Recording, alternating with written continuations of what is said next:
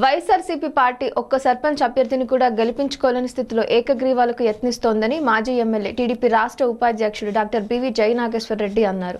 ఈ ఎన్నికల్లో టీడీపీ మద్దతుదారులు ఎటువంటి భయాందోళనలకు గురికాకుండా స్వేచ్ఛగా నామినేషన్లు దాఖలు చేయాలని కర్నూలు జిల్లా ఎమ్మిగనూరులో ఆయన పిలుపునిచ్చారు.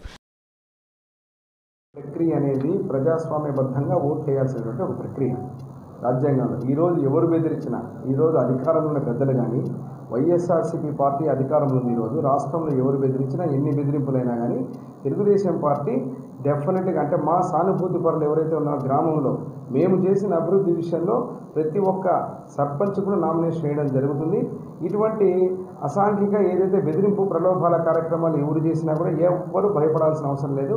ప్రతి కార్యకర్త ప్రతి నాయకుడు ప్రతి నామినేషన్ విషయంలో కూడా పకడ్బందీగా ఈరోజు నిమ్మగడ్డ రమేష్ కుమార్ గారు ఈరోజు కమిషనర్గా ఉన్నారు. వారు ఏదైతే చెప్తున్నారో ఎక్కడ ఏ ప్రలోభాలకు ఏ భయానికి భయపడకుండా ఒక ఐజీని కూడా ఏర్పాటు చేశారు. ఏది జరిగినా కూడా ఇమీడియట్గా మనం ఈ యొక్క రాజ్యాంగ వ్యవస్థ మీద మాకు నమ్మకం ఉంది.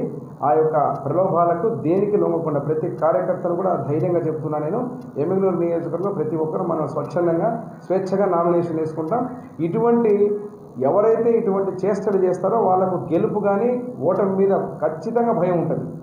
కనీసం ఈరోజు ఒక సర్పంచ్ను కూడా గెలిపించుకోలేక ఏకగ్రీవాలకు పోతున్నారంటే వాళ్ళు ఏ స్థితిలో ఉన్నారో ఒకసారి ఆలోచించుకోవాలి. కాబట్టి ఈ నామినేషన్లు వద్దన్నా ఏకగ్రీవాలకు గ్రామం అంతా కూర్చొని చేసుకునే ఏకగ్రీవం వేరు బలవంతపు ఏకగ్రీవాలు వేరు. దీంట్లో రెండు రెండు రకాలు ఉన్నాయి దానికే మేము చెప్పేది ఏ కార్యకర్త తెలుగుదేశం పార్టీ నాయకుడు కానీ ఎవ్వరు కూడా భయపడే స్థితిలో లేదు.